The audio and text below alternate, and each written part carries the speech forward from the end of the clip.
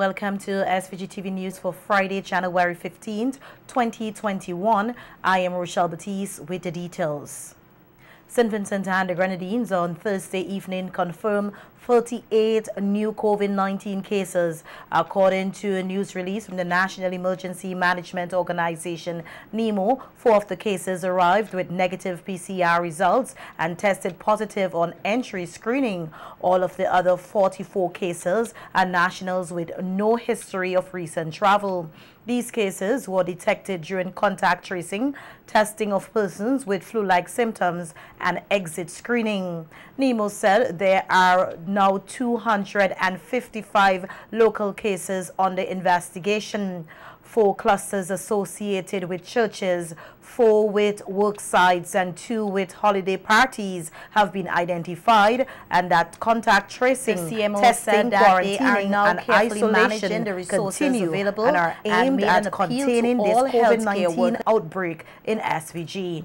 NEMO said the strict compliance with quarantine and isolation is even more important now in order to suppress any further spread of this viral illness and that persons who have been instructed to quarantine while awaiting their results must not leave their quarantine sites until they receive their test results. A total of 388 cases of COVID-19 have been reported in St. Vincent and the Grenadines to date. 107 persons have thus far recovered from the virus and 281 cases remain active. There are currently 17 COVID-19 patients admitted for care and Health Promotion Officer in the Ministry of Health, Shanika John, is urging persons who have tested positive for COVID-19 and are in isolation not to leave their homes or place of isolation until cleared. Speaking on NBC Radio face-to-face -face program this morning, John said the movement of these people can be another avenue to continue the spread of the virus we have been stressing to those persons who have tested positive for COVID-19 that you should not leave your home to go to work. You should not leave your home to seek medical care. Um, you should not try to go to the supermarket or run what you consider to be very small errands. And that's the same for persons who are also in quarantine. Because the movement of these people could potentially be another avenue to spread the virus. So I really want to send that message home to persons. If you know someone who is in quarantine or isolation, please ask them to adhere to the specific protocols. We do have persons who are on our psychosocial team um, assigned to these individuals, and they can contact them directly because they have contact numbers and so forth for them. In the event that they may need something that they consider to be urgent, or they need someone um, to seek, um, they need to seek medical care. So we ask persons to utilize those particular avenues rather than trying to venture out on their own. John further explained the difference between persons who are in quarantine and those in isolation. So I think this is a discussion that we have had before. Again, the information is not new.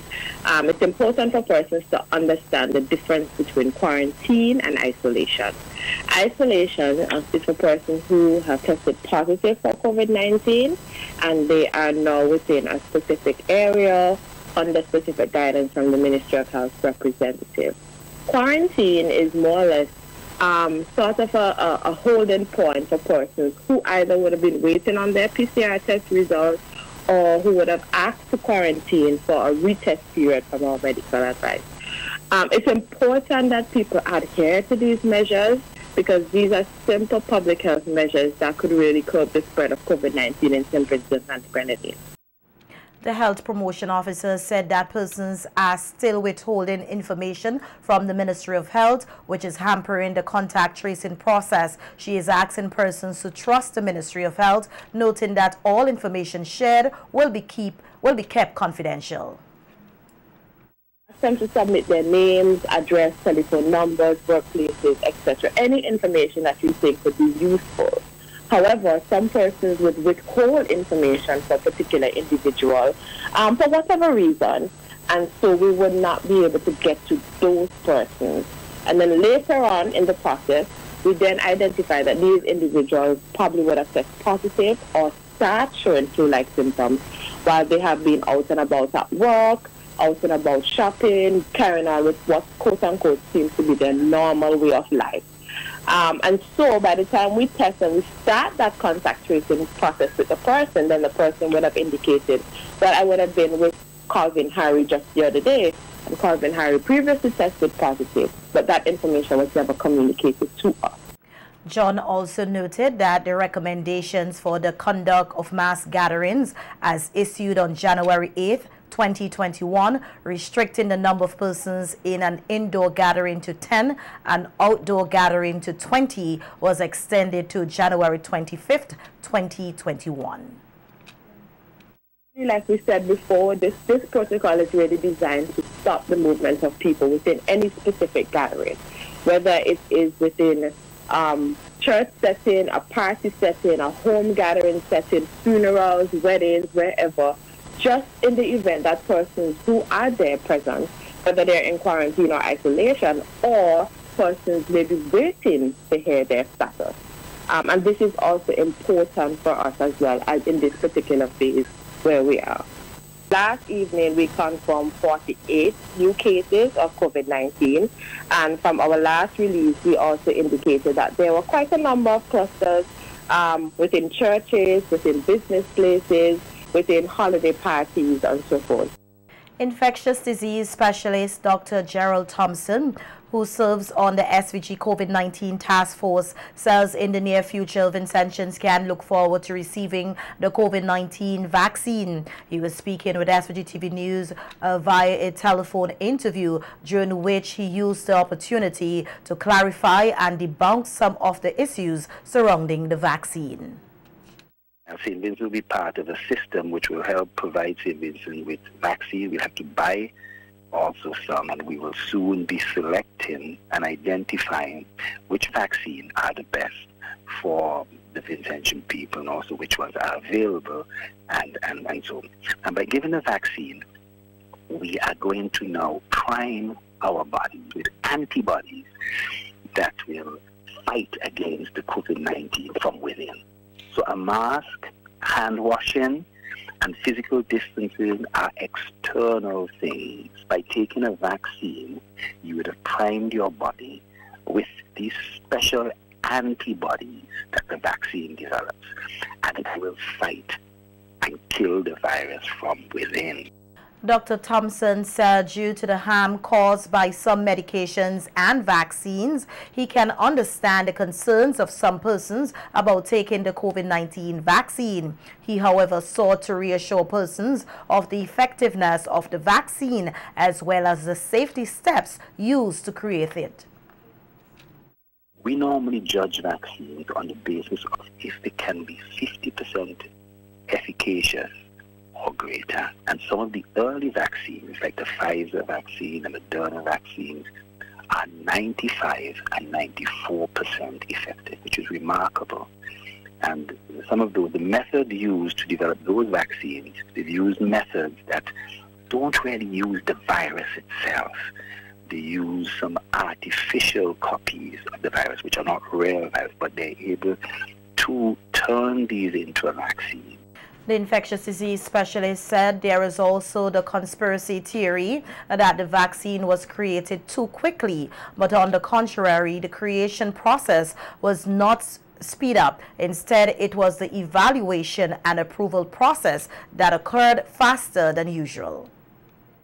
Now, some of the conspiracy theories is that um, the vaccine was developed too quickly well, it's true, it was developed very quickly, but normally when a vaccine is developed, after different stages, you usually have to wait about a year before someone reviews it and gives it a stamp of approval. When I'm saying it takes a year, it sits on someone's desk, it sits in someone's drawer, waiting for them to go through other applications before they reach that one. Everything has to take its turn. The vaccines on the COVID, because of the amount of deaths we're seeing, they've jumped the queue. So other medications are waiting for approval. Vaccines have jumped ahead of those. But the actual studies have not been done any quicker. It is now the evaluation of the study. Since the vaccine has been administered in some countries, such as the USA and the UK, a number of persons have had allergic reactions to the vaccine. Dr. Thompson said persons who usually have allergic reactions to vaccines or other medications should hold off in taking the COVID-19 vaccine. The Pfizer vaccine, they have identified that the, for persons who have severe allergies, severe allergies, they have to be careful and they probably should avoid it. The people with severe allergies are people who walk around with what's called an adrenaline pen. So those persons say, you hold off for a while.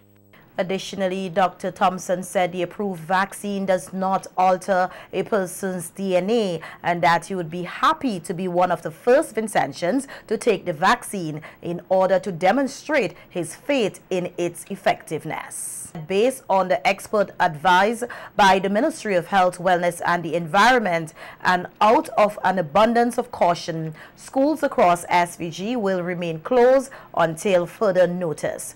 The Ministry of Education said it will make every effort to ensure that students are not adversely affected by the extended period of school closure.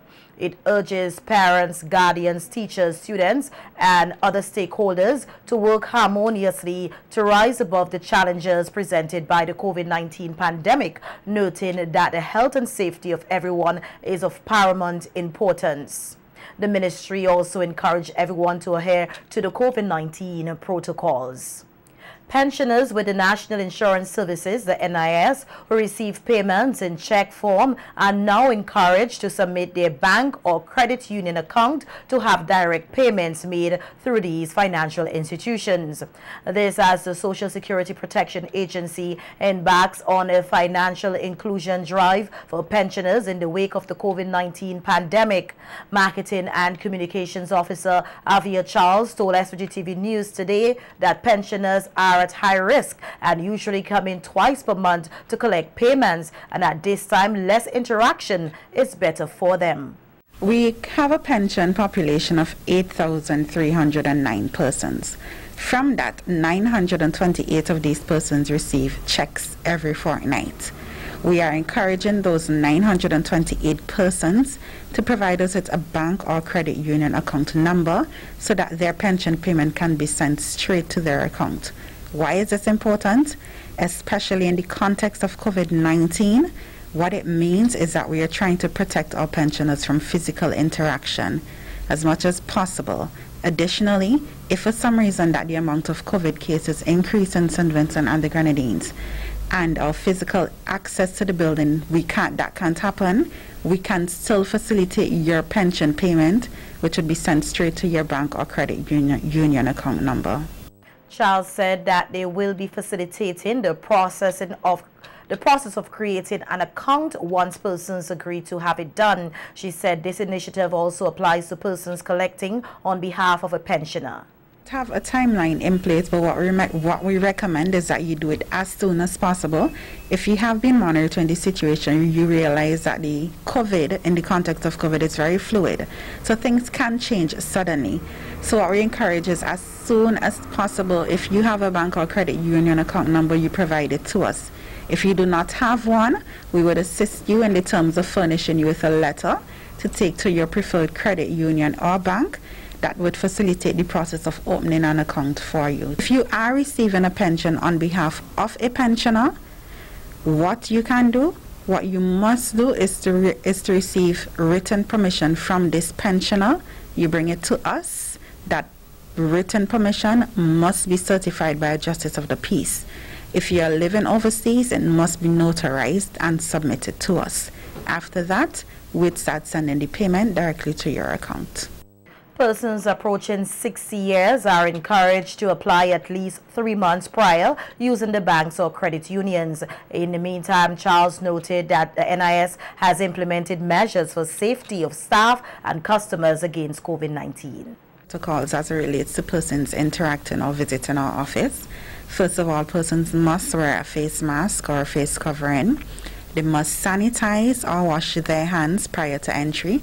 And we've also employed a nurse who test the um, person's temperature before they actually enter as well. We have also limited the amount of persons who are inside the NIS at any time, so that is nine persons. We persons are actually complying, and I think it speaks to the gravity of, of how serious the situation is, or in terms of their understanding of how serious it is. An update now on the La Soufrière volcano. The team of scientists from the UWI Seismic Research Center has successfully installed several stations at the summit of the volcano with assistance from some nearby community volunteers. The seismic stations are expected to provide information and give off signal closer to the crater. The stations were transported by the rotary helicopter which arrived in the state yesterday from Antigua. On NBC Radio this morning, lead scientist Professor Richard Robertson was asked about the possibility of the new lava dome reaching the volcano summit. He said it is likely, but it may take months, and they are creating a model to determine a time frame we're working with some colleagues in the UK and, and others who have, have done this kind of thing, both for the well, well for the 79 dome. Uh, you have to make certain assumptions and all of that, and, and we really would like to get uh, over the next week or so a better track of the rate at which it's growing. But we have begun to do that. We basically estimating two things. We we're looking at at how yeah, kind of how long it will take to, to get to a certain point, say in the in the on the crater floor, given its current rate of growth, and making certain assumptions about how it's growing, where it's growing. And then secondly, yes, filling up the crater will take a little while, but also more importantly to us was would it when, when and if it will get high enough as a mass to start overtopping any part of the crater, crater wall, um, and then therefore having the potential that when, when, when pieces fall off of it, the pieces will fall into the surrounding land, which would extend the effect of the hot rock sort of lower down. It suggests that it's going to take months for that to happen. Um, and, and a little bit shorter for you to actually see it, it because it has to move. There's a lot of space. Professor Robertson said they are also using thermal camera to gather data from the new dome and the hottest area was from the middle of the dome. Camera gives us the impression of, of where the hotspots are and it tells us where it tells us something about how it's growing. Um, domes grow differently. Uh, one day, you know, is they could grow in a, a sort of pushing up and, a sort of conveyor belt kind of way, or they could grow what we call endogenously. They could they could swell up from inside. This one seems to be growing more like a, a conveyor belt, so sort of it, it comes up and the, the fresh materials comes up from in the middle more or less, and it's attached to the material that was there before, and it, it, it flows down the side and forms a rounded mountain, um, rather than say growing from swelling sort of say, which which it looked appeared like it was doing at one point. In a bulletin provided this afternoon, the National Emergency Management Organization NEMO said observations made by the scientists indicate that the dome has continued to grow and is now about three quarters the height of the pre-existing 1979 dome. It said gas emissions were observed from several areas of the 1979 dome as well as the crater floor through several cracks which have developed and that damaged the vegetation was extensive within the eastern, southern, and western parts of the inner crater walls. NEMO said the damage reported on previously that is occurring along the upper part of the southwestern crater rim has continued to slowly extend downslope. Alert level remains at orange as the volcano continues to exude magma on the surface and steam can still be observed from the Belmont Observatory. Persons living in areas close to the volcano should expect strong sulfur smells for several days to weeks, depending on changes in wind direction.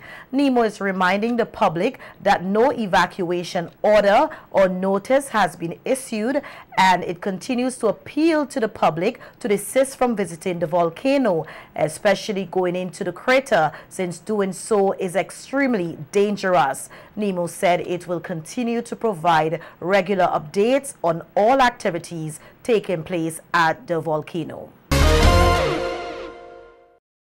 Veteran broadcaster Randy D. Dopwell passed away last evening, surrounded by his family at his home in Rockies. Following a period of illness. Today, there were an outpouring of tributes from colleagues and friends. Opposition Member of Parliament for Central Kingstown, Sinclair Leacock, said he has known Randy D all his life and is saddened by his passing. Radio host Colin Graham said he admired Dopwell for his love for broadcasting and for promoting local content. Both our mothers were ice cream vendors in the Kingstown market. We both attended prep school and grammar school together. Both members of the Miller House at grammar school played football for the grammar school team. Served together at NBC Radio, where I was chairman and he was a staff member. So you see how long the history is. And radio presentation, and I always admired his love for everything local. If there's one thing, he was a true connoisseur of all things local, especially local music, local talent, um, our local culture. He really had a profound love and respect and appreciation for it. And it was part of who he was as, as, as a radio person. I mean, Randy was the one person you know for sure would give all local artists a fair play and equal opportunity and the small upcoming local entertainer an opportunity and a chance to let their music and their talent and their vibe, as they would say, really be heard. And um, Graham said Dopwell deserved full recognition for his work in broadcasting, and it is a pity that he did not get one while he was alive. Great individuals go to their grave before really getting the true honor bestowed upon them as they deserve. And Randy definitely is somebody who would be fitting of, of all of that, and he, he will be missed. I remember days up on the radio station laughing and joking. He remained my friend for, for many years as I transitioned through radio, and I will always remember his impact and his influence on a youngster like me, a young broadcaster. He's, he's an outstanding national icon by any measure in the field of sports and culture. In a Facebook post today, the National Broadcasting Corporation said it mourns the passing of Dopwell, who was a former member of staff. The cooperation said as a broadcaster, Dopwell ensured that persons in the diaspora had an avenue to send greetings to their family and friends back home and that he has left an indelible mark on the media landscape in St. Vincent and the Grenadines and has inspired many in the profession today. The Carnival Development Corporation also extended condolences uh, to family members, relatives, and friends of Dopwell. In a statement, the CDC said it joins in solidarity with everyone to express gratitude for Dopwell's outstanding contributions to the radio, entertainment, and cultural industries of SVG over the years. Uh, Dopwell officially started his radio life in SVG in 1977 after he was appointed chairman of the pre-carnival shows when Vincy Mas was changed from the pre-Lenten season to June-July. May his soul rest in peace. In other news, five days after he fell down a flight of steps in the Redemption Sharpes area. Opposition Member of Parliament for Central Kingstown, Sinclair Leacock, said though he is out of the hospital, he remains in a lot of pain and still cannot move about on his own. In a telephone interview today with SVG TV News, Leacock said uh, that he has been very careful not to contract COVID and with the upcoming presentation of the budget estimate on January 27th, which is less than two weeks away. He remains hopeful that he will recover to make an input to the debates.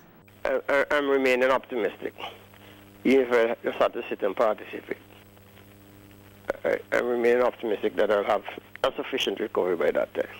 Really, no lessons is you can't be you can't be more careful than I have been, you know, because basically, you know, sense, you know, trying to avoid any exposure. I, I, that's why I didn't go into the church, didn't congregate at the cemetery, because of the COVID. So you're, you're running from the COVID and you run into something else. so this thing is going to get you one way or the other. Leacock believes that the incident surrounding his fall was an accident and not deliberate, as some persons have been suggesting. He recalls what happened on Sunday, January 10th, when he fell down a staircase at a house in Redemption Sharpes. I'd just been served some, some food and was walking away with it while she was collecting a drink so I could go back to her home, which is next door. So this was at the top of a flight of about 10 to 14 stairs when suddenly I felt a push at my back. that catapulted me down the flight of stairs into the street and under a parked vehicle. I was pulled out and driven to the MC, MCMH for medical examination and treatment, including x-rays, and discharged early in the morning. I, I think it's accidental. Leacock says that the injuries received were severe even though there were no broken bones and that he will be undergoing therapy. Most, well, no broken, no, no broken bones, but serious muscle damage on the left side of the body. Left shoulder, rib cage, right back, upper, upper, lower legs. I cannot walk at the moment, no. So I'm not walking as, just as yet. Uh, I'm trying to stand upright again, not not quite successfully as yet. I, I, I, just, yeah, I, I confident I walk again. I, I visited the, the, um, the medical centers for treatment again this morning for further um, examination. And um, a therapist should come in today. We do wish him a full recovery. In other news, Minister of State in the Ministry of Foreign Affairs and Foreign Trade, Keisal Peters, has called on the UN Security Council to make it a priority to counter terrorist threats and work together to combat to combat violent extremism. Peters made a call on Tuesday during a UN Security Council ministerial meeting titled 20th Anniversary of Security Council Resolution 1373 and the establishment of the Counterterrorism Committee. Peters told the meeting that COVID-19 has caused some additional challenges, but their work must continue in this area. Strong coordination and collaboration between the committee CTED and UNOCT must continue, and we encourage the committee to enhance collaboration, information sharing, coordination with member states. Indeed, international, regional, and sub-regional cooperation remains vital in combating terrorism and bringing terrorists to justice. The UN Global Counterterrorism Strategy is a useful tool to further this cooperation between states. The junior minister shared the view that political differences have contributed to violent extremism and asked that the UN Security Council to encourage its members to ensure this does not continue. Irresponsible arms sales, persistent conflicts fueled by geopolitical rivalries and other counterproductive actions should be avoided by all member states. Selective condemnation of terrorist attacks, depending on which side of the border they are committed or by whom, only undermines our collective efforts to address this scourge. In addition, we must all ensure that any measures taken to combat terrorism comply with obligations under international law. Other members also made an input by highlighting achievements in international cooperation, challenges and opportunities. Air Canada will be suspended all flights to St. Vincent and the Grenadines effective January 23, 2021. SVG is part of the airline's international list of stations closed and routes suspended until further notice. The airline's 25% capacity reduction include 44 temporarily suspended flights, 12 domestic, 10 transborder USA, and a full 22 international routes. In a memo, the airline said though it understands the action taken will be a blow to its workers and partners, it was left with no choice. Vincentian Damien Mactier delivered the valedictorian speech at the first virtual graduation ceremony of the University of the West Indies Mona campus yesterday afternoon. Mactier, who received a Bachelor of Arts degree in integrated marketing and communications with first-class honors, represented the faculties of humanities and education, science and technology, engineering, and the Institute of Gender and Development Studies. While reminiscing on the adventures and joys of his UWI experience, Mactier, in his speech, recounted how the COVID-19 pandemic dealt him and other graduates a hefty blow. The COVID-19 pandemic prematurely took away normalcy and placed our journey into obscurity. It heralded dark clouds of depression, displacement, and our ability to say proper goodbyes. It also made some of us regional and international students feel stateless as we were unable to travel home due to closed borders. He also rallied his colleagues to use the light of knowledge they have gained through their time at the UWI Mona campus to build a more resilient Caribbean. The COVID-19 pandemic forced us to transition, and we did. We are the first fruits of this transition to a new way of being and doing things. And luckily for us, we have been given a light of knowledge from the University of the West Indies to go on.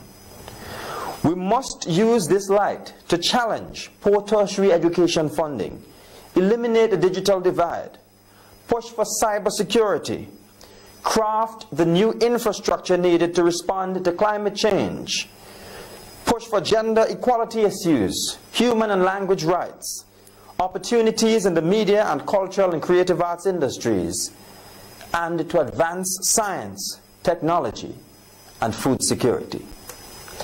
But most of all, we must use this light to brighten the paths of others as they journey to their mountaintops of success. MACTAIR thanked agencies and individuals who supported the students as they faced difficulties of varying degrees due to the COVID-19 pandemic, as well as their family, friends, and lecturers who would have sustained their courage.